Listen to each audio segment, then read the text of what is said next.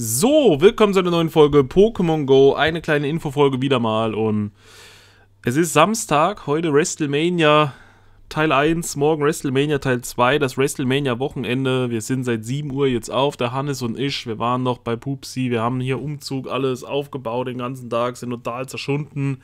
20 Uhr heimgekommen, kurz Premiere geschaut vom äh, legendären Bier-Tasting mit Bianca und Shania. Das war auf jeden Fall mega lustig. Wer das nicht geguckt hat, guckt es euch mal an. Ich glaube, ihr werdet amüsiert sein.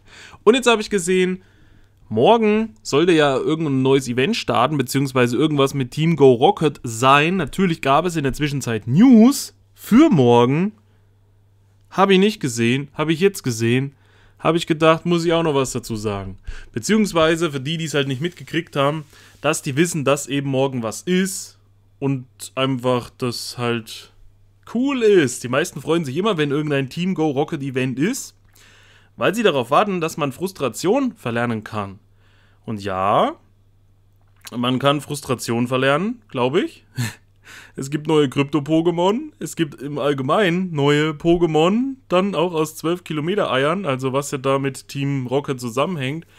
Ähm, und Giovanni wechselt auch sein legendäres Pokémon. Darauf habe ich ja gewartet.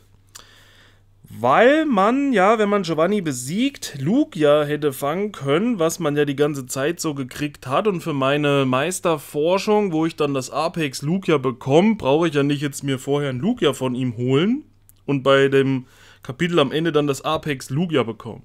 Also wollte ich jetzt extra warten, bevor ich ihn besiege, dass ich das nächste Pokémon schon bekomme. Und das nächste wird jetzt Latias sein. Ich werde also direkt Latias mir holen können, ohne nochmal mir irgendwie einen Radar zu holen oder irgendwas, weil den habe ich ja noch von der Meisterwerkforschung, wer den sich aufgehoben hat. Und durchs Abschließen von der Meisterwerkforschung kriege ich dann trotzdem noch das Apex Krypto Lugia kann dann noch in Ruhe die neue Rocket-Forschung machen, die es ab morgen gibt, und habe dann wieder einen Radar, den ich für ein zweites Latias nutzen könnte. Wäre aber Quatsch. Also hebe ich mir den auf. Wenn der neue kommt, dass ich immer direkt gleich mir das neue legendäre Krypto gönnen kann. Hier gibt es jetzt also ein Update auf der News-Seite, also auf der Pokémon Go Live.com Seite. Molung am Vierer und weitere Pokémon erscheinen beim Rocket Team Ausflug Event. Der Hannes sitzt gerade auf dem Sofa. Hallo Hannes. Moin. Moin, hat's gesagt.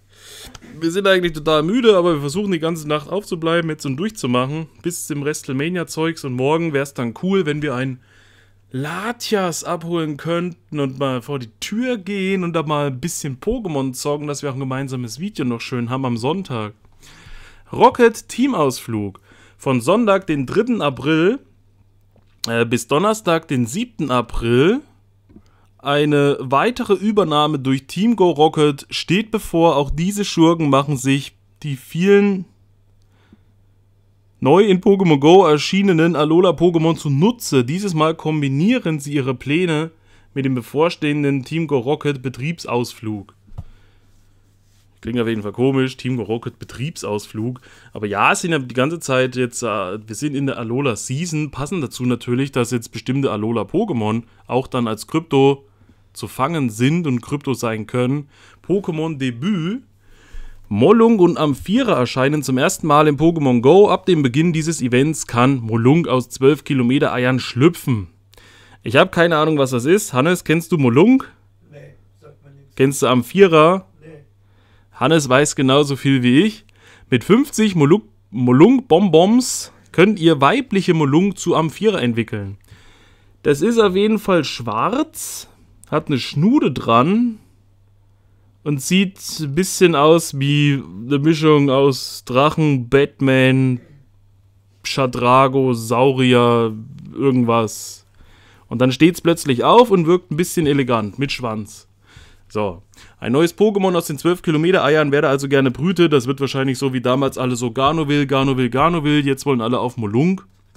Hat man auf jeden Fall wieder was Neues was man dann auch wieder männlich, weiblich braucht und äh, Lucky braucht. Shiny gibt es noch nicht, da braucht ihr jetzt nicht drauf hoffen.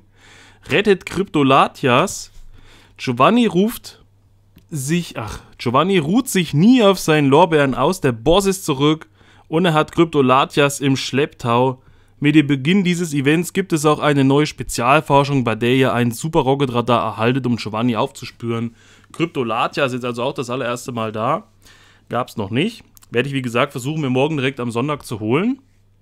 Mit meinem Rocket Radar aus der Meisterwerkforschung, um den Radar aus der jetzigen Giovanni-Forschung dann, die kommt, aufzuheben für das, was nach Latias kommt. Vielleicht Latios? Wer weiß das schon? Wäre eine Idee. Krypto-Pokémon, die Team Go Rocket Rüpel und ihre Anführer Cliff, Sierra und Alo setzen jetzt andere Krypto-Pokémon ein. Helft Spark, Blanche und Candela dabei, ihre Erzfeinde zu besiegen und alle Krypto-Pokémon zu retten. Mit Glück begegnet ihr sogar anderen schillernden Krypto-Pokémon als bisher. Als wäre das noch nicht genug, hat Team Go Rocket nun auch die folgenden Pokémon zu Krypto-Pokémon gemacht, besiegt Team Go Rocket Rübel, um sie zu retten. Krypto Alola Radfratz, Krypto Alola Sandan, Krypto Alola Kogowai, Krypto Mogelbaum, Krypto Girafarik und Krypto Kamaub. Ja, ist da jetzt was Gutes dabei? Ich meine, Mogelbaum, Girafarik kannst du nicht entwickeln. Ich weiß nicht, ob man die in der GBL irgendwo nutzt an sich. Ansonsten sehe ich jetzt nicht so heftige Sachen im ersten Moment, wie wenn man jetzt Kryptolavita hat und dann Despota und dann einfach auch als äh, Raid-Pokémon äh, gut nutzbar, genauso wie Tarnel. Oder sowas wie äh, Krypto-Keivel oder Krypto-Quiekel, wie gesagt. Haut mich jetzt erstmal noch nicht vom Sockel, aber sind natürlich trotzdem neue Pokémon, die ihr in eurer Kryptosammlung aufnehmen könnt. Event Boni. Team Go Rocket erscheint häufiger bei Pokestops und in Ballons und mit einer Lade-TM könnt ihr die Ladeattacke Frustration vergessen. Das ist das, worauf immer alle warten, wenn sie ein richtig gutes Krypto-Pokémon haben und sagen, ja, das kann aber nichts wegen der Attacke und man könnte eine zweite Attacke lernen, aber die stört dann trotzdem. Man will so ein starkes Pokémon trotzdem mit zwei richtigen Attacken. Nutzt die Zeit wirklich, um Frustration zu verlernen, eure Pokémon noch stärker zu machen. Pokémon bei Feldforschungen. Den folgenden Pokémon begegnen dir als Belohnung für den Abschluss von Feldforschungsaufgaben Sneebel. Mit etwas Glück auch schillernd. Nee, schillernd und mit etwas Glück begegnet ihr auch Zurokex. Aber Zurokex nicht shiny, sondern halt nur Sneebel so. Ja, Sneebel ist auf jeden Fall ein interessantes Pokémon. Als Eisangreifer, als äh, Unlichtangreifer ist das beides eigentlich recht gut. Zurokex. Wahrscheinlich wieder nur für GBL. Eventboxen gibt es dann auch für 1275 Pogemünzen im Shop. Eine Eventbox mit 10 Top-Tränken, 10 Top-Belebern und 5 Rocket-Radaren.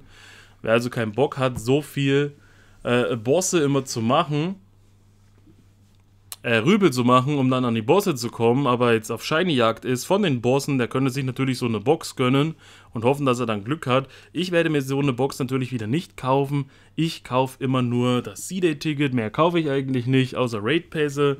Und ansonsten, ja, ich weiß jetzt noch nicht, welche Pokémon die Vorstände haben. Wenn ihr da jetzt schon mehr dazu wisst, könnt ihr das ja mal in die Kommentare schreiben. Also was hat Sierra, Cliff und Arlo als Krypto-Pokémon, die dann auch shiny sein können? Weil das werden ja hier die normalen sein, die ihr dann so kriegt an den Stops. Bei den Rocket-Rübeln und freut ihr euch auf Kryptolatias? Habt ihr da Bock drauf? Oder hättet ihr euch lieber noch ein Lugia geholt und nicht wie ich das aufgehoben, um jetzt direkt Latias zu holen und das dann wieder aufzuheben für das nächste. Ansonsten war es das erstmal von meiner Seite aus. Molung am Vierer, also gönnt euch die neuen Pokémon, verlernt Frustration, habt Spaß, schreibt mal drunter, ob ihr Bock habt, ob ihr ein Rocket-Rüpel-Fan seid. Viele umgehen auch dieses Feature und sagen, nee, das, das, die spielen lieber GBL, die machen lieber Raids, Rocket-Rübel sind gar nichts. Andere feiern das einfach enorm. Ich finde es ganz cool, aber ich versuche es dann jetzt nicht immer so zu übertreiben, weil das dann man eh immer viel schlecht kriegt. Und bis dann was Gutes ist, ganz viel Zeit vergeht. Ansonsten war es das von meiner Seite aus. Wir sehen uns beim nächsten Mal. Bis dahin, Peace out. Vorhaut, euer Ramses, euer Hannes. Ciao. Da und euer Adi, der liegt nämlich auch hier rum. Ciao.